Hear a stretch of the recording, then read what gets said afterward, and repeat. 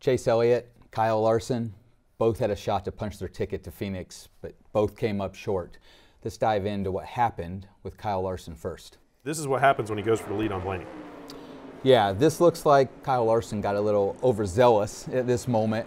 They were both going around a lap car of the three. Kyle Larson threw it in there. There was probably just enough room that, that Ryan Blaney gave him, racing him really clean, trying to let them both go by the lap car. And when he drove in so hard to try to clear that lap car, he gets loose, bounces off the 12 a little bit, and ultimately spins out with about 15 laps to go. Right here, I think, is an important thing a lot of people talked about. The five kind of just does a lazy spin, gets it back going, and starts rolling again. And he, you can see right here, he's coming out alongside the 31 and 11 cars. The way this rule works, when the caution comes out under yellow, everybody else is frozen at the last timing loop they came through. But if you're in the crash, it's wherever you get rolling again, because usually you're on the apron or you have flat tires and you don't get going for a lap or you're behind everybody else. The way that rule is, is wherever you naturally blend back in line is where you come out. So he's going to naturally come out right behind the 11 car here.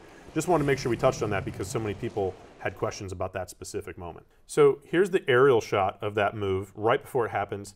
And again, just like we talked about in the last one, Blaney's running that same middle line. That's just where his car worked in three and four. He had to cheat the entry a little bit, probably because he was fighting a tight condition on entry. Mm -hmm. And it just barely opens this sliver of space for the five. Because honestly, you wonder if the 12 should be just a little bit up here, kind of pinching off the five so he can't get there with the three car, but he had to enter that middle, gives the five just a little bit of breathing room, and that gives the five that that, you know, that moment where he's like, I can get him right here, I'm going to do it, and that's what yeah. kind of leads to this. Yeah, what you'll notice is when when we watch that, the three, he's kind of right in front of both of them. Blaney goes to go by him, and then what you'll see is Larson is going to dive from behind the three to kind of clean air. And a lot of things will happen to your race car when you're getting dirty air from the three and then your nose gets into clean air. He either got tight, he got loose, something he had to overcorrect, and there wasn't enough room between those two cars for Kyle to save it. We talk about air blocking in the car, the air going over the cars. I mean, this whole thing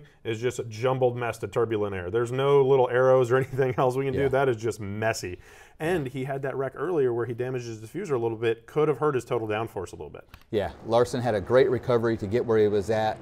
Unfortunate spin right here. It really put him behind and, and took him out of a chance to win the race. The nine car, great car all day, led a ton of laps. Mm -hmm. Final restart here, lines up in the third place. Let's watch how this plays out.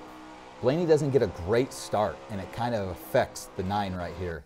Yeah, and the nine sends it off in there, three, almost four wide because the, of Blaney. He's thinking, all right, I'm going to go to the bottom. I'm going to have an opportunity here.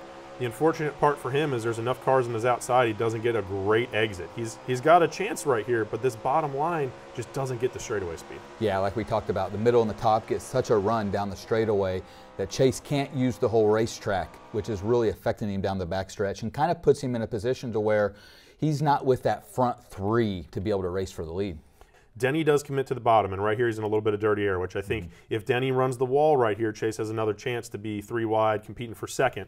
Denny takes a little bit of his air. He still clears the 45 on the exit of this corner, but as he goes down here into turn one again, he sees he's too, too wide. He goes to the bottom. Again, he's in the dirty air of the 12. He has to back up his corner a little bit to stay tidy to the bottom. And what you're going to see is the 45 comes around the outside.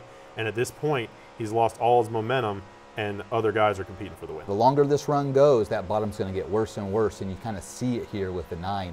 He's not able to make up the ground once he couldn't on that first lap. Gets trapped in the dirty air, unfortunately kind of settles in the fourth and fades a bit, and those three settle it out about five laps later.